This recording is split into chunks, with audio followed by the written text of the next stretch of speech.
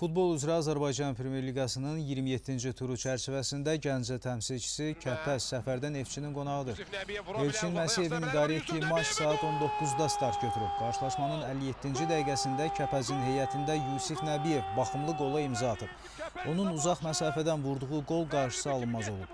66-cı dəqiqədə isə Neftçinin heyətində Emin Mahmudov hesabı bərabərləşdirib. Ağqaralar 71-ci dəqiqədə Edi İsrafilovla hesabda önə keçsələr də bu sevincləri cəmi bir dəqiqə çəkib.